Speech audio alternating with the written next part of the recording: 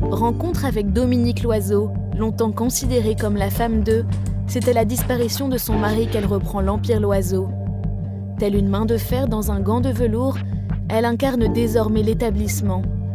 Un dynamisme incroyable qu'elle distille dans tous les projets du groupe, avec une grande sensibilité pour cette amoureuse des fleurs et de la nature qui l'entoure.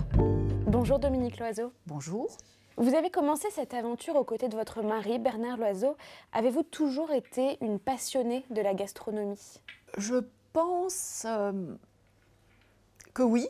Hein. Si je me souviens de mon enfance, j'attendais tout le temps l'heure des repas.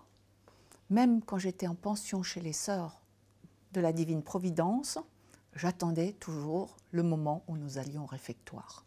Alors, est-ce que ça veut dire que j'aimais la gastronomie? J'en sais rien mais j'avais un faible pour les repas et pour tout ce qui se mange.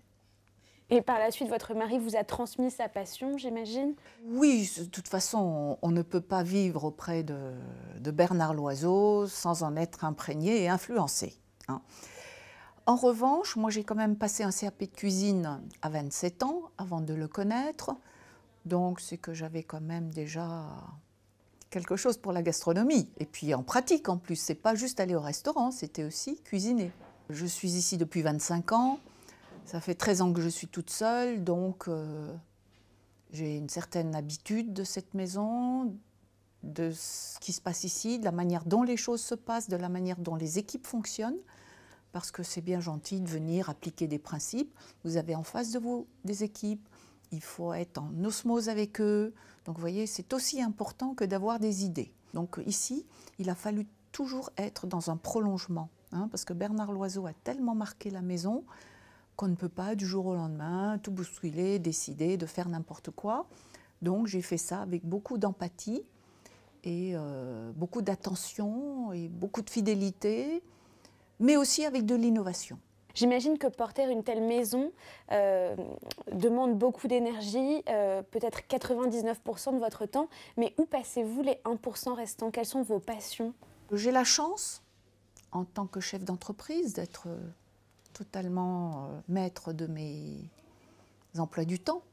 Donc je peux m'éclipser entre 5 et 7 par exemple, aller dans mon jardin et changer de tenue et travailler dans mon jardin. J'ai été élevée à la campagne, voyez-vous, donc euh, mon grand-père avait une ferme à côté de mes parents. Je faisais du houblon, je faisais du tabac, je, faisais, je nettoyais les étables. Euh, euh, donc j'ai ce, contact avec la terre, c'est vrai qu'on allait ensemble déterrer des pommes de terre, on plantait ceci, enfin je vivais au rythme des saisons et c'est quelque chose qui ne m'a jamais quitté. Même quand je vivais à Paris, j'avais besoin d'avoir des fleurs aux fenêtres. Enfin, c'est quelque chose qui m'a toujours euh, suivi. Et maintenant que je suis à la campagne, je peux vivre correctement cette, euh, ce besoin, cette passion. Vous ne passez pas seulement beaucoup de temps dans votre jardin ou avec euh, les poules, les canards, vous allez également beaucoup vous promener dans, euh, euh, le parc du Morvan, le parc régional du Morvan. Euh, quels sont ces moments? Est-ce que vous pouvez nous les décrire? Qu'est-ce que vous ressentez pendant ces instants de promenade? Il faut dire que notre Morvan, c'est un petit Canada. Il y a, c'est très calme, il y a des perspectives superbes avec des étangs, des lacs, des sapins, des feuillus. Des... Je ne peux pas vous dire combien c'est reposant, pour combien ça me, je suis éblouie par ça. Je veux dire, je suis admirative. Et, pour moi, c'est le summum. Hein. Vous savez, je n'ai pas besoin d'aller dans des endroits idylliques dans aux quatre coins du monde. Moi, je suis bien là. En reprenant les rênes du relais, vous avez également créé une ligne de produits cosmétiques. Euh, parlez-nous de ce projet. J'ai eu l'idée de faire quelques produits à base de cassis. Parce que nous servons tous les jours ici un hectare de cassis. Et en me, en me renseignant, j'ai vu que le cassis était particulièrement riche dans plein de très bons produits, très bons pour la peau.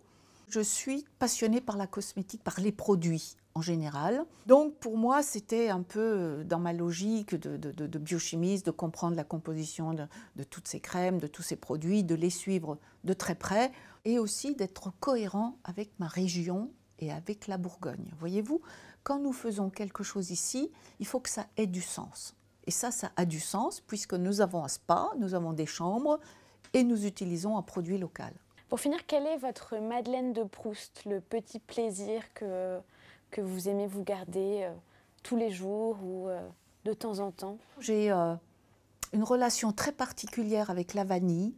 Quand je venais rejoindre Bernard le week-end ici, il était très pris et nous habitions au-dessus de la réception. Et je sais que vers 22 heures, la glace vanille venait d'être turbinée et il me montait un beau récipient de cette glace vanille turbinée, fraîchement turbinée. Et c'est quelque chose qui m'a, j'allais dire, transpercé, voyez-vous. Et euh, je me parfume à la vanille. Euh, mes enfants ont, ont, toujours été parfumés à la vanille, mes petits-enfants aussi. C'est quelque chose, est-ce que c'est une Madeleine de Proust? Je n'en sais rien, mais j'ai une relation particulière avec la glace vanille, avec euh, la chantilly à la vanille, enfin tout ce qui est vanillé. Merci beaucoup, Madame Merci, je vous en prie.